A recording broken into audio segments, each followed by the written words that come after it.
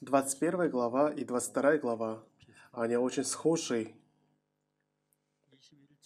В 21 главе рассказывается о виноградниках. В 22 главе же рассказывается о тех, которых пригласил царь на пир. Другими словами, виноградники или те люди, которых пригласил царь на брачный пир, если послушать эти истории, царь, он позаботился о них и хотел дать им большую благодать. Однако они пренебрегли приглашением царя, они убили слуг царских, побили, а также виноградники. Это были арендаторы земли. Знаете, я помню в нашем детстве, были очень бедные люди, которые арендовали земли. Эти люди не имеют земли своего, хотя занимаются земледелием. Поэтому они арендуют кого-то землю целый год, занимаются земледелием. В основном хозяева, они не дают землю, на котором хорошо можно получить урожай. И поэтому дают землю, на котором очень тяжело работать. И тогда Арендатор земли всем сердцем трудится и работает целый год, а от урожая половину он должен отдать хозяину. И получается, он половину отдает хозяину от урожая, а другую половину он берет себе и этим проживает. Но даже вот эта половина, которая у него остается, уходит на то, чтобы купить удобрения. И потом очень много средств уходит, чтобы принять наемников – Другими словами, практически ничего не остается.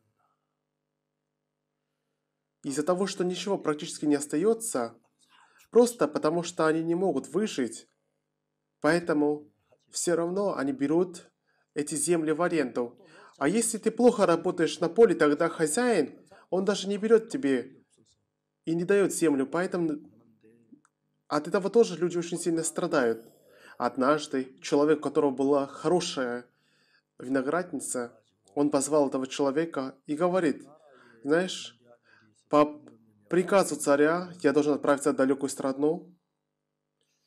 Я несколько лет трудился. Если у меня будет все хорошо, я не думаю, что я смогу вернуться в эту страну обратно. Но рядом с царем я должен переехать и жить у него. Я приводил порядок в мой дом, и вот этот виноградник, который у меня есть, я им очень дорожу. Поэтому в этом винограднике, тем более, нигде в этом мире нет таких хороших виноградов, как у меня. Здесь очень хорошо растут плоды. А также оно очень хорошо стоит против насекомых. Я очень хорошо обработал этот виноградник. И я уверен, что будет много винограда. Найми наемников. И потом, если ты сделаешь сок, продашь, то уверен, что ты сможешь заработать очень много денег. Я хотел все продать из того, что у меня есть, но этот виноградник очень хороший. И поэтому я хочу его не продавать и поручить тебе. Послушай, половину от урожая бери себе, а другую половину отдавай мне, хорошо? Конечно, этот наемник был очень рад. На самом деле, на винограднике нет особой работы, потому что плоды сами появляются. Главное собрать урожай, потом сделать сок, и потом в малых сосудах разместить, и потом продать их. И тогда от этого ты заработаешь огромные деньги арендатор земли, на самом деле для него такой удачи не может быть. Он жил очень бедно, очень трудных условиях он жил. Но теперь ты живешь в винограднике, тебе не нужен дом, поэтому он продал свой дом. И, получается, с осени он начал работать. И можно продавать плоды или можно сделать вино и потом продать вино. Жизнь стала очень хорошей, они жить, начали в счастье. Однако, однажды, хозяин виноградника, как они договаривались, чтобы взять часть от прибыли, он слал слуг своих. Но между слугами и этим человеком появился конфликт. Знаете, когда мы читаем эту историю, есть много трудностей, когда ты читаешь Библию. А что именно? Этот человек, смотрите, он начал заниматься виноградником, хотя у него нет опыта. Но смотрите, нужно просто дать удобрение, а когда плоды будут готовы, собрать, нанять наемников, и потом собрать урожай, и потом сделать вино. Можно вино, виноград продавать, а можно и сделать вино и продавать. Понимаете, его жизнь стала очень хорошей. Конечно, мы не можем полностью рассказать, как ему было хорошо. Но будучи земледельцем, на самом деле нет большего благословения, чем то, что он имеет. Он говорил детям, дети, раньше мы даже не могли есть хорошо. Я даже не мог ходить в больницу, когда я болел. А ваша мама из-за того, что голодала, у нее была куриная слепота из-за недоедания. Теперь человек, у которого нет своего поля, нет своего сада, они живут очень тяжело. Они должны целый год работать, но все равно прибыли практически нет. С большим трудом он жил, но хозяин отправился в далекую страну. Да, я все продал, что у меня есть. Но этот виноградник я хочу оставить себе, потому что вино, которое здесь растет, очень хорошо пахнет, и поэтому я отдаю тебе этот виноградник. Собирай виноград и потом продавай, тогда ты сможешь жить хорошо. Поэтому тебе не нужно будет прилагать очень сильные усилия. Просто можешь продавать вино, можешь продавать виноград, а половину просто от прибыли дашь мне. Понимаете? Получается, с весны, с осени ты уже можешь собрать урожай, и поэтому, тем более, очень хороший плод, поэтому все хотят покупать у него. Жизнь стала очень хорошей. Теперь купить обувь, купить блузку, купить платье для жены не проблема. Раньше, чтобы купить одно, ему нужно было несколько год работать. Но теперь он может легко пойти купить или пойти вылечиться, если заболеет. Купили коляску, купили тележку, теперь вместе ездят. Жизнь стала в счастье. Виноградар. Каждый раз, когда у него была возможность, он говорил своим сыновьям, дети, мы были бедными, мы очень часто голодали, вы, наверное, даже не помните, насколько мы были бедными. Но хозяин, когда нам дал этот виноградник, мы стали счастливыми. Теперь мы можем обуваться в хорошую обувь, у нас есть хорошая одежда.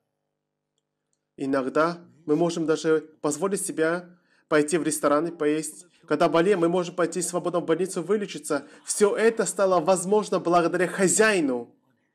Это милость хозяина, это благословение, которое нам дал хозяин.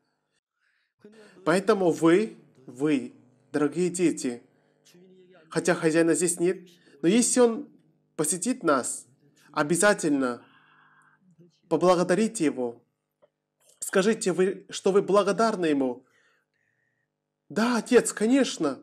Мы обязательно так скажем ему. Этот земледелец был очень благодарен хозяину. Однако, однажды незнакомые люди пришли к винограднику. Он спросил, вы кто, что вы здесь стоите? А вы, пожалуйста, простите, хозяин послал нас для того, чтобы мы взяли часть от прибыли, но мы не знаем точно адрес, поэтому мы здесь стоим и ищем. А, так вы те люди, которых послал хозяин. И этот виноградник. А, вот вы кто. Заходите в дом, не стойте здесь. Они вошли. Вот, попейте это вино. Это лучшее вино, которое есть в этом мире. Попробуйте. Попробуйте, мы приготовили специально для хозяина, но и вы угоститесь. Как поживает хозяин, как его здоровье. Раньше мы жили в очень трудных условиях, но теперь наша семья здорова, мы счастливы, поэтому мы так благодарны хозяину. Передайте ему. Виноградник. Он думал, что он обязательно будет так говорить хозяину. Но в тот день, когда пришли слуги, чтобы взять часть от прибыли, он думал, что если придет хозяин, если придут слуги от хозяина, я буду к нему хорошо относиться. Он так думал. Но вдруг стратная мысль пришла к нему. Он прожил без хозяина несколько лет, а теперь пришли люди, чтобы взять часть от прибыли, и поэтому ему стало неприятно. И сам не заметив, он сказал, «Послушайте, почему вы так нагло разговариваете с нами?» И так они начали ругаться. «Извините, пожалуйста, но что мы сделали не так? Пожалуйста, простите». «Как ты смеешь дерзать мне?» «Надо ударить тебя». «Ты что, как ты смеешь так разговаривать?» «Это я придумал. Понимаете?» если вы спросите, где это в Библии, я не смогу вам сказать, потому что это, это то, что я придумал, чтобы вам было легче понять, понимаете? Ну, вполне вероятная история, правильно? Потому что я же не говорю чушь. Смотрите, эти виноградники, они очень хорошо хотели отнестись к хозяину. Они были благодарны ему. Готовы были сесть на колени и поблагодарить хозяина. Но сами не заметив, они начали говорить так слугам. Почему же я так говорю им? Ну, что мы сделали не так, скажите? Ты до конца смеешь дерзать мне? Как ты смеешь так разговаривать? Пожалуйста, не злитесь. Просто мы пришли при- получить часть от прибыли. Ты на каждое слово перечишь мне. На словах не получится, слушай. Появился конфликт. Слуги, которые пришли вместе, начали говорить, но мы пришли часть от прибыли. Это же естественно. Почему же вы так разговариваете? И так они поругались, и один умер, одного побили камнями, третьего побили. Вин- Виноградник, он думал, я не хотел так поступать. Я что, сумасшедший, что так начал поступать с ними? Один человек погиб, другие все убежали. Вечером жена говорит, дорогая, дорогой, ты как сумасшедший. Как ты можешь так поступать, скажи? Эти слуги же ведь ничего плохого не сделали. Почему же ты так с ними поступил?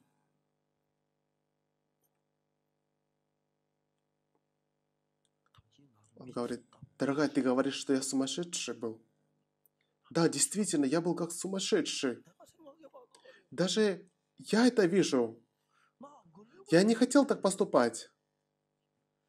Я хотел сделать им хорошо.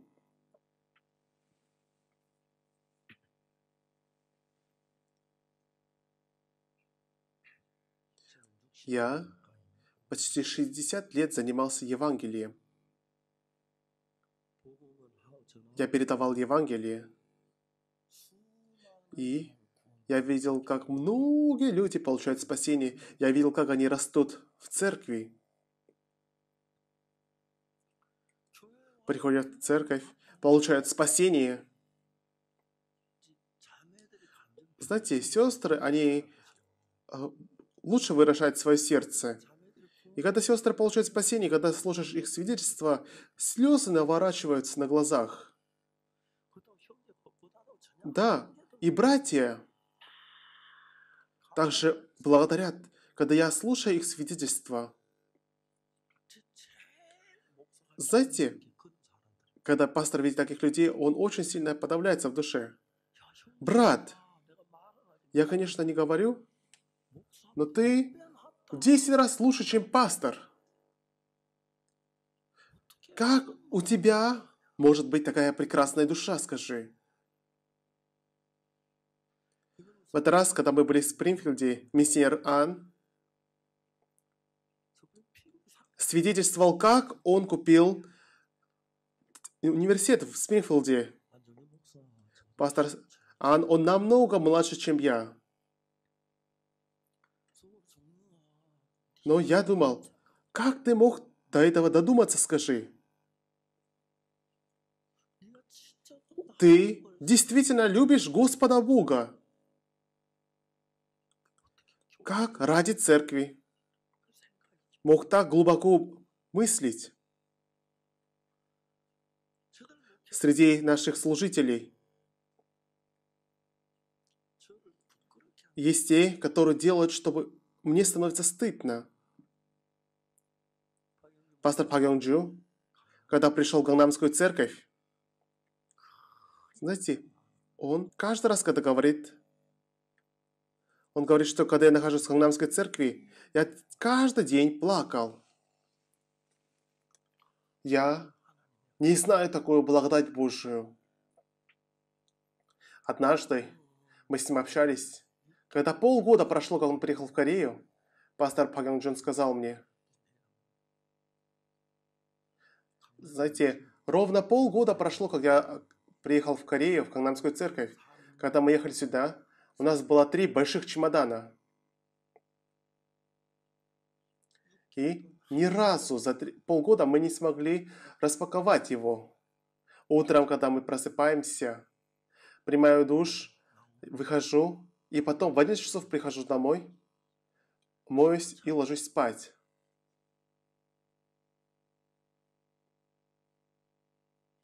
Знаете, слушая эти вещи, он потом говорит, знаете, я прошлом,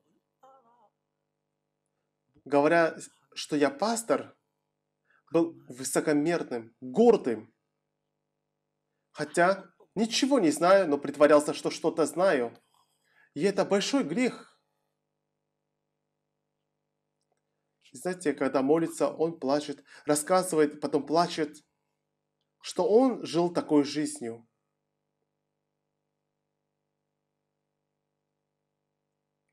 Ну, знаете, что больно на душе? Это виноградари. Или те, которых пригласил царь на брачный пир.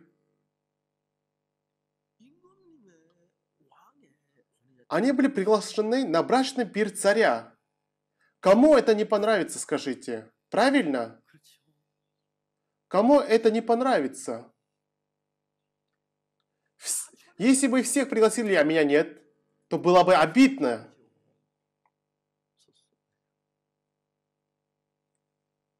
В этот раз, когда мы были в Спрингфилде, многие служители все хотели приехать, но были некоторые, которые не смогли приехать. Кто-то не смог приехать по болезни, а кого-то просто не пустили в Америку. Были некоторые служители такие. Но знаете, они очень завидовали.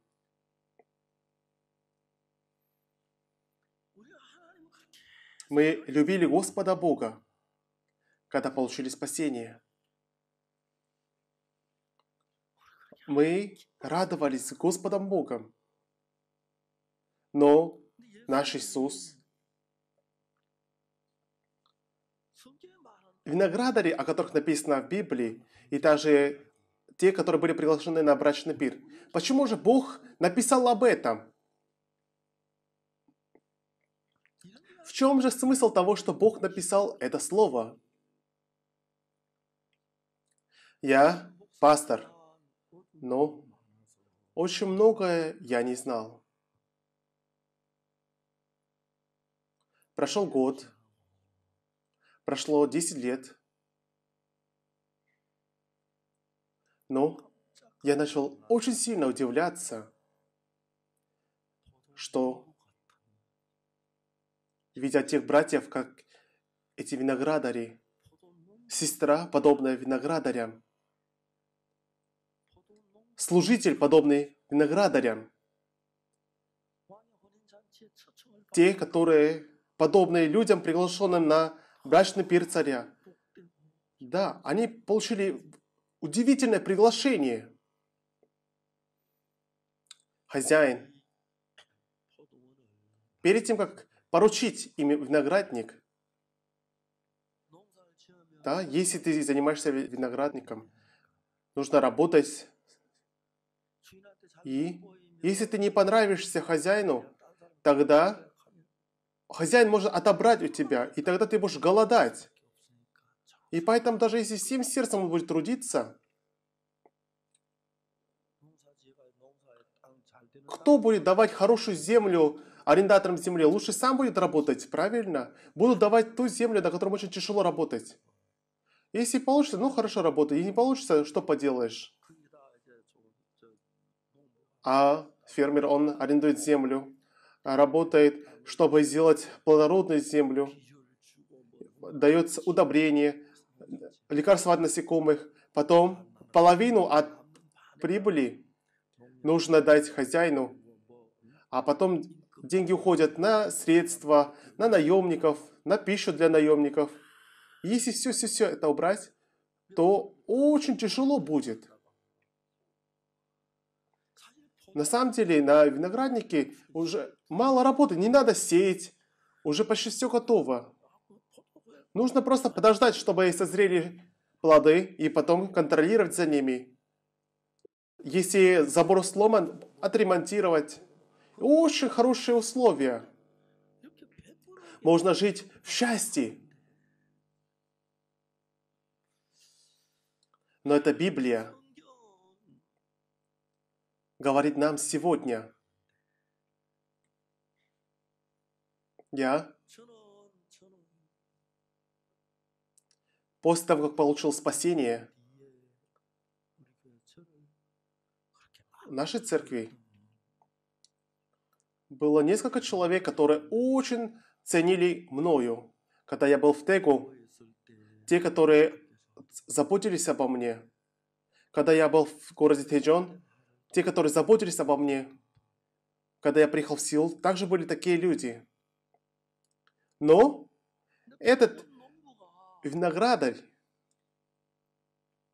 всегда он думал, я буду жить ради хозяина таких, такой хороший урожай в этот раз я собрал. Я обязательно дам хозяину. Я так благодарен нашему хозяину.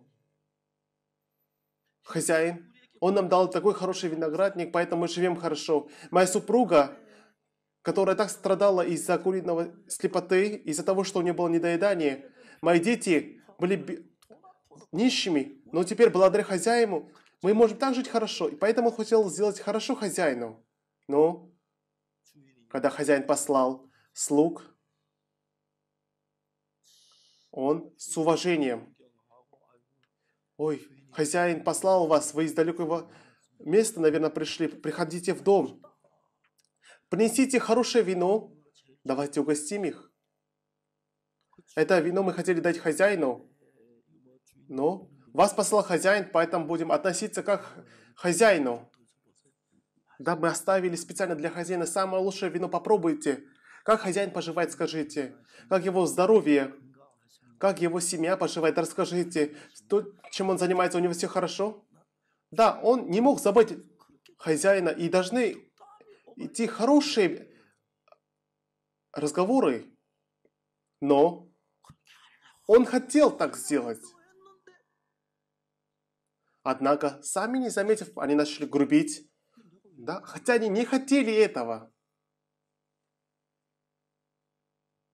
Что удивительно, это есть Библия. Почему же написали это слово?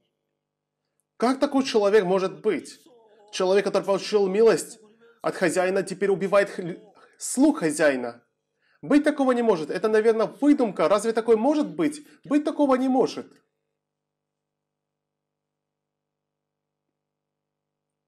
Но, когда этот человек получил спасение, в слезах благодарил, радовался. Он думал прежде о церкви, а не о себе. Но в какой-то день начал становиться высокомерным, начал пренебрегать церковью, начал смешно относиться к церкви, начал противиться церкви, начал судить церковь. Да, те вещи, о которых даже представить тяжело, начал совершать. Они пришли в нашу церковь, получили прощение грехов. Слезами они благодарили. Очень благодарили и даже не знали, как себя нужно вести. Но теперь же они, используя ложь, используя ложь, они противятся церкви, пишут в интернете всякую гадость.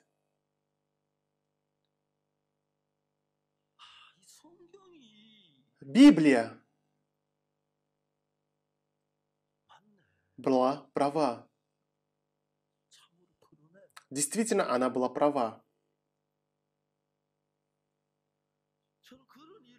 Я очень часто страдал в душе из-за подобных вещей. Знаете, мне ничего страшного. Да, наш любимый брат легко уходит из церкви, пренебрегает церковью, противится церкви.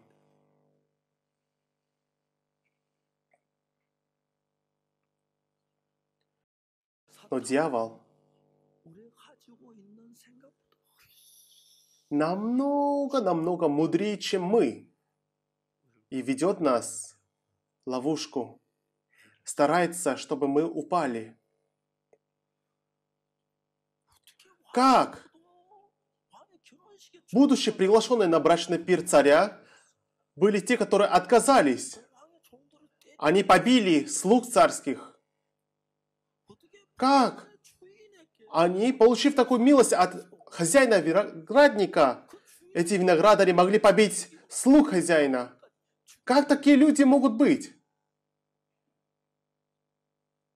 Знаете, я же э, ничем другим не занимаюсь, поэтому я часто думаю, почему же они так поступили? Почему же они поступили именно так? Почему же они поступили так?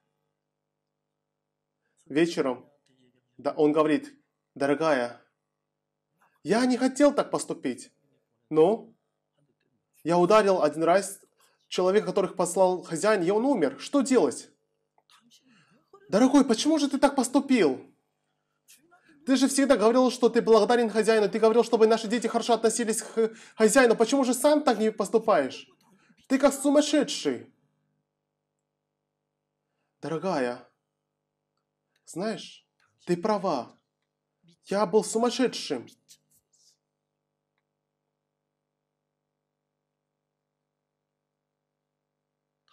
Когда придет его сын, что будешь делать? Когда хозяин пошлет своего сына, да? Дорогой, пожалуйста, ничего лишнего не говори. Сядь на колени и попроси, что я согрешил. И скажи, что ты забыл о милости, которую хозяин дал тебе. И попроси прощения. Хорошо. Если хозяин нас убьет, тогда мы погибнем. Если прогонит, нас прогонит. Но что мы можем поделать? Да, я так поступлю. Дорогая. Да, хозяин обязательно пошлет своего сына. Дорогой, пожалуйста, ты попроси у него прощения. то милость, которую хозяин нам дал, это великая милость. Но ты неправильно поступил. Да, дорогая, я действительно был как сумасшедший, я не хотел так поступать. Но я сам не заметил, почему я начал так себя вести. Люди порой говорят то, о чем они не думали. Такое может быть. И об этом сейчас говорится. Это касается не только виноградарей, но все мы, если дьявол будет действовать, то к Богу, который помиловал нас, к хозяину виноградника, к царю, который пригласил нас в свой брачный пир, мы можем изучать, чтобы противиться им. Когда мы следуем за нашими удовлетворениями, тогда церковь кажется обременительной, лишней и очень высоким уровнем дьявол дает нам подобные мысли. Знаете, Братья, которые получили спасение, им было очень хорошо. Да, я не, немощный, может, поэтому такие вещи произошли. Но есть те, которые ушли из церкви, их много. Один за другим. Порой я их вспоминаю. Младший сын, когда взял имение от отца и пошел в далекую страну, да, такой гад, он должен умереть. Как он смеет взять мое и уйти? Отец так не говорил и не думал. Отец говорил, вернись, вернись.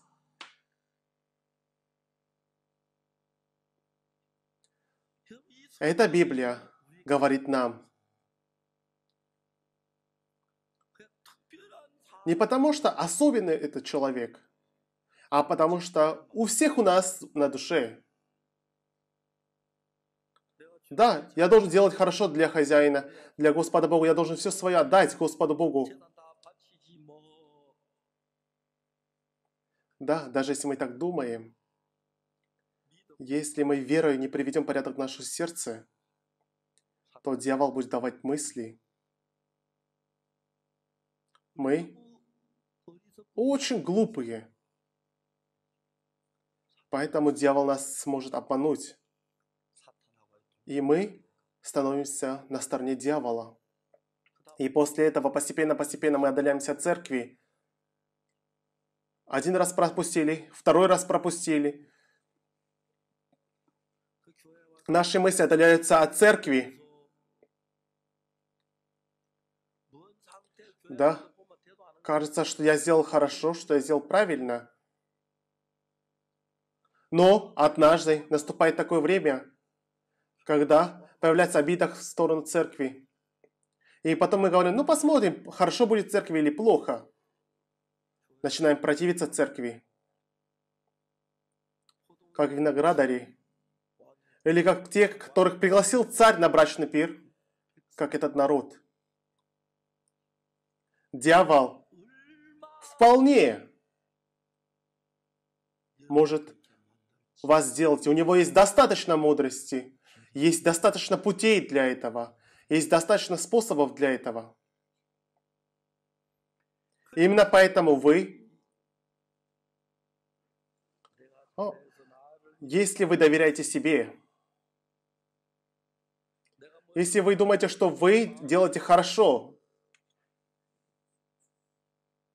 Если вы думаете, что вы неплохие, с того момента и служители начинают избегать бремя, делают только то, что им хочется. И так начинают идти, сами не замечая в какой-то момент то, что они делают, они чувствуют, что то, что церковь делает, отличается а когда чувствуют, что отличается, то им кажется, что они правы, а не церковь. Поэтому они за спиной начинают осуждать церковь. И постепенно ни в коем случае хозяин виноградника или виноградаря, они не хотели противиться хозяину. Они даже не могли представить, что они убьют слуг хозяина. Наконец пришел сын. А, наконец-то пришел к нам сын. Пришел любимый сын хозяина. Да. Хозяин. Таких глупых, как мы. Хозяин нам дал виноградник, а мы стали высокомерными, что мы побили его слуг. Хозяин, такой, как я, должен умереть.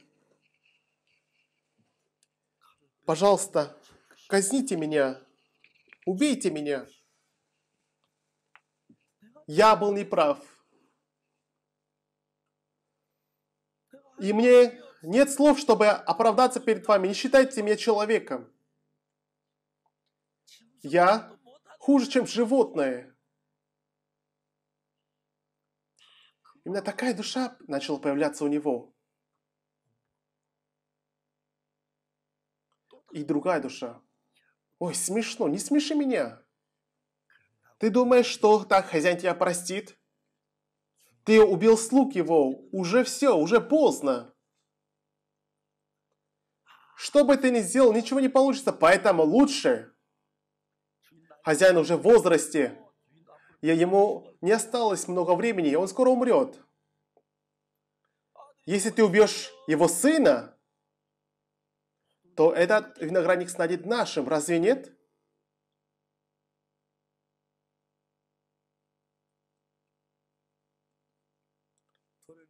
Ой, вы, наверное, устали от пути. Скажи, пожалуйста, почему же ты так поступил? Нашему отцу очень обидно, что ты убил его слуг. Пожалуйста, поменяй свое сердце перед отцом и повинуйся нашему отцу. Знаешь, отец послал меня специально, потому что он хочет поручить этот виноградник тебе. Ха-ха-ха.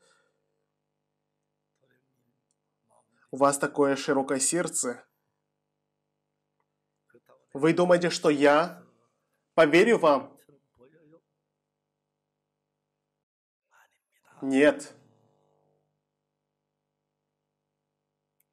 Вы, наверное, устали с дороги. Но вы должны умереть. Отец уже ваш стар.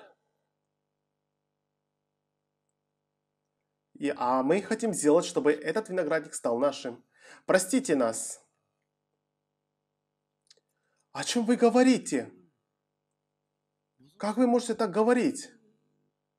Отец специально послал меня. Он мог ведь послать солдат. Почему он послал, ты думаешь? Если пришли бы солдаты, все закончилось бы. Он хочет, чтобы вы поменяли ваше сердце. Вы должны поменять ваше сердце. «О, у вас такое сердце доброе, как у ангела!» Но вы, может, ангел, я же не ангел!» «Вас не должно быть, тогда нам будет хорошо!» «Вы сами пришли сюда, и теперь это прекрасный шанс для нас!» «О чем вы говорите?» «Нет! Вы не знаете сердца Отца!» Ха-ха-ха. Да, мы такие люди. Пожалуйста, умрите. И они убили сына. Эта история, это не язычники. Это братья, которые получили спасение по благодати Господа. Это история о нас. Среди нас достаточно легко, и мы можем стать такими. Вот о чем говорит нам это слово. Но большинство людей, они так не думают. Нет, я же не буду таким. Я ведь получил спасение. Как я могу быть сына хозяина.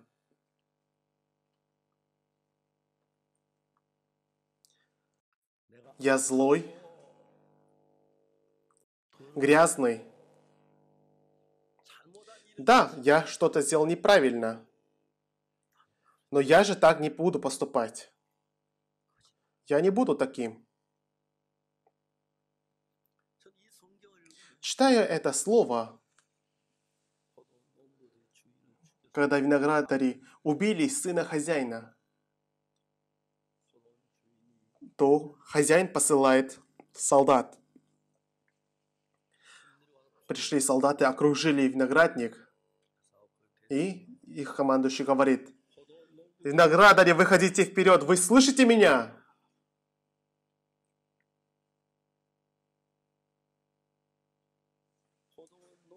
Начиная от виноградаря, жена, дети, все. Поднимите руку на, за голову и выйдите вперед. Иначе мы сожжем весь дом. Вы слышите меня? Командующий говорит –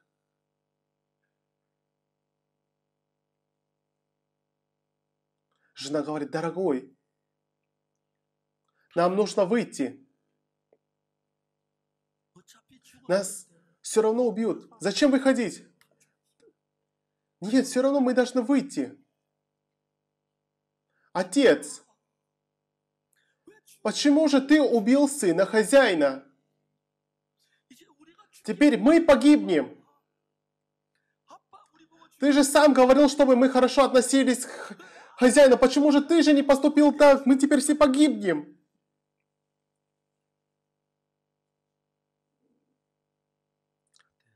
В тот момент вы представляете, какое было сердце у виноградаря? Да, я достоин умереть. Но вы, дети мои, не должны умирать. Но из-за меня и вы погибнете. Ну, словами «прости» тут уже ничего невозможно решить. Но я правда не хотел так делать. Я очень был благодарен хозяину. Хотел сделать хорошо. Но как? Я даже не знаю, почему я так сделал. Библия говорит нам, что сегодня большинство из вас кровью Иисуса Христа получили прощение грехов. Я прав? Мы были рады.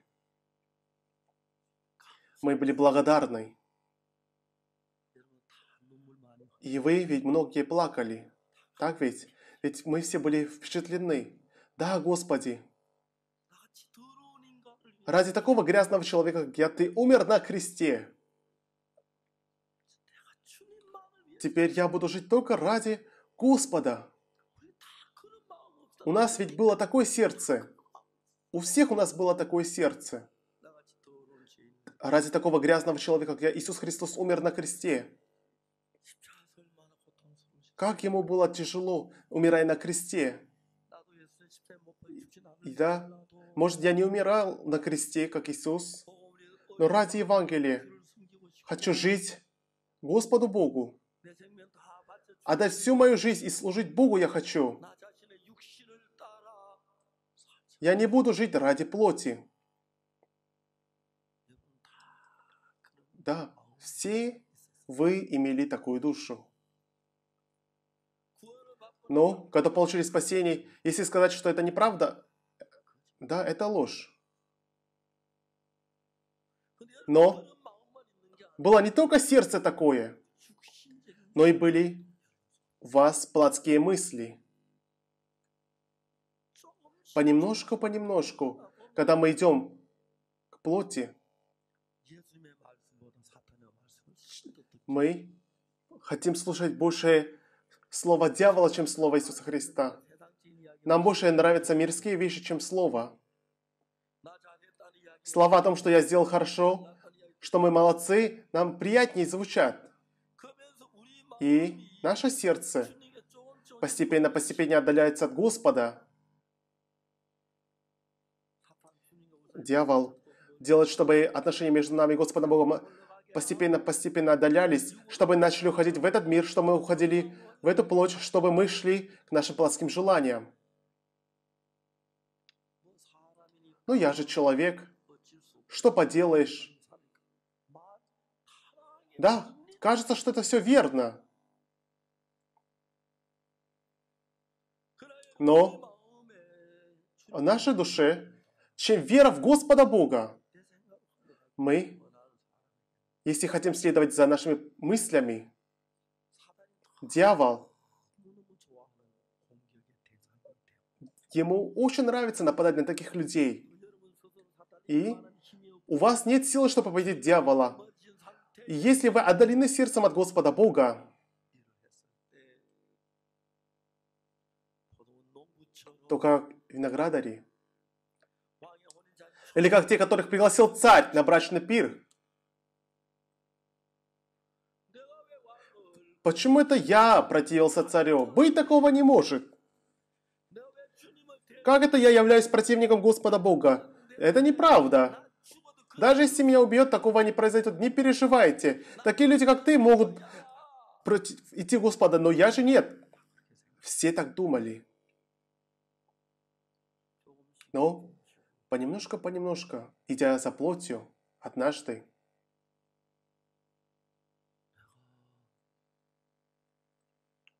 я не хочу пойти на собрание, ну и что? Что, обязательно нужно идти на сей собрание? Знаете, вчера, возвращаясь из Спрингфилда, я взял с собой мою внучку и внука. Было из-за разницы во времени, мы в час ночи все проснулись, и я, и мои внуки.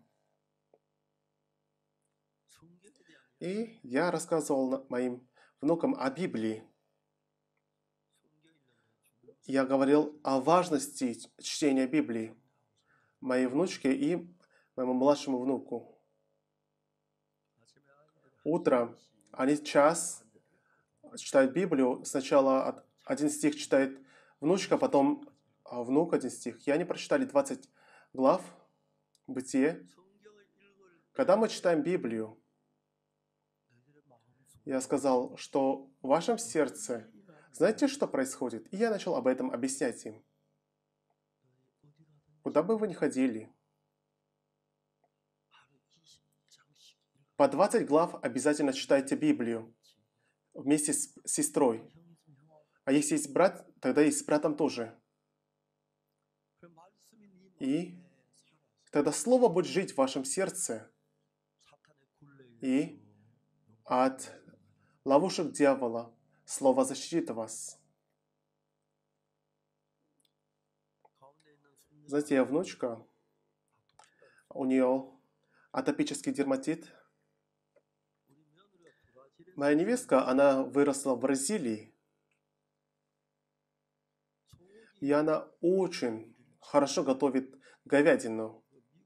А в Америке говядина не такая дорогая, поэтому а мои внуки, они каждый день почти ели говядину. Очень много едят.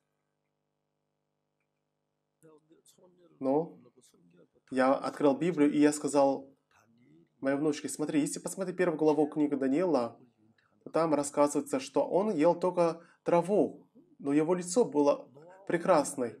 Я сказал, что люди до Ноева потопа, они жили до 900 лет. А потом, после водного потопа, средняя продолжительность жизни резко упала. Есть одно изменение до потопа и после потопа. До потопа люди питались только травой, но не ели мясо. А после же они начали есть мясо, и тогда средний возраст продолжительности жизни резко упал. Пастор, тогда что, если не есть мясо, тогда я смогу прожить до 700, до 800 лет? Кто-то, может, так спросит. Да я не могу вам сказать точный ответ, но, может, давайте попробуем, может, получится. Знаете, моя внучка после того дня, она перестала есть мясо.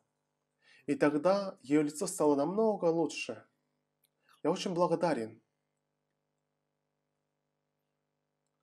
Знаете, я хочу, чтобы вы были также проповедниками Евангелия. А для этого вам нужно читать много Библию. Знаете, ваши дети, то, что им нравится, да, а, не радуйтесь тем, что они улыбаются, а важно, чтобы и в их душе было слово. Знаете, мы обязательно дьявол будет вас шатать. Нет человека, который не будет шататься, если дьявол будет шатать вас. Но, чем мое мнение,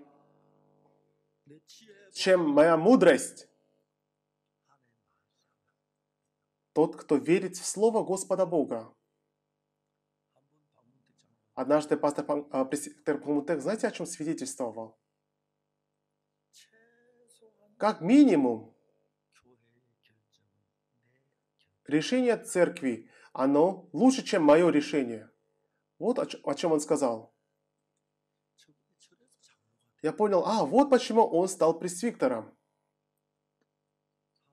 Люди очень легко осуждают церковь.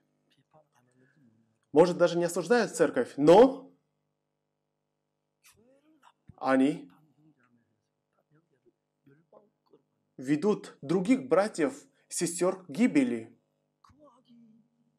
И это зло. На самом деле, это зло, которое нельзя даже представить.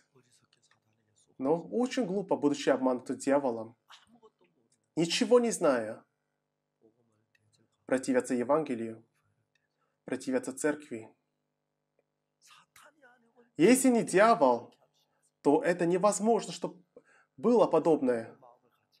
Если наше сердце не будет соединено с дьяволом, невозможно сделать подобные вещи. Ведь как мы получили спасение, скажите? Ведь как мы получили жизнь?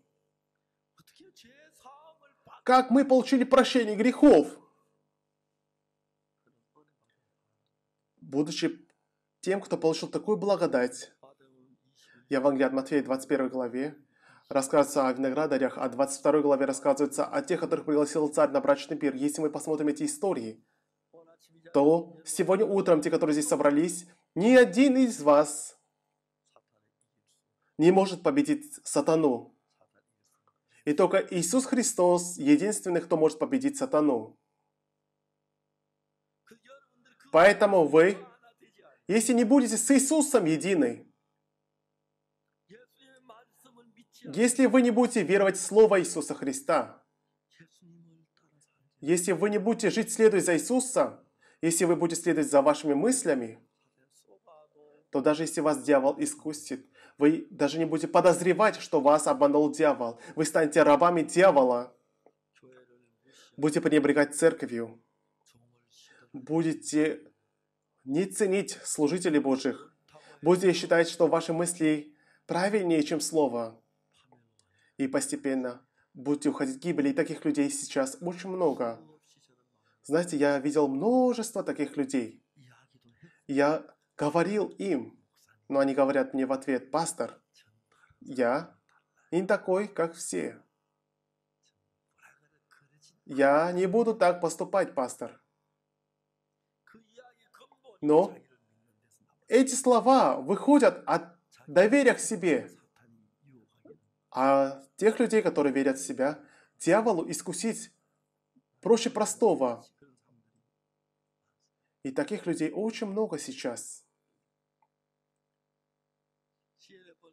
Через форум христианских лидеров многие христианские лидеры смотрят на миссию News. И в этот раз в Спрингфилде многие служители слушали наше слово, и они хотели иметь сотрудничество с нами. И по всему миру Бог открывает путь чтобы мы могли передать Евангелие по всему миру. Среди наших братьев и сестер многие люди с радостью передают Евангелие, отдают свою жизнь. И на протяжении долгих лет, последних, они очень сильно трудились. И Господь Бог благословил их жизнь. И многие христианские лидеры пришли, получили спасение.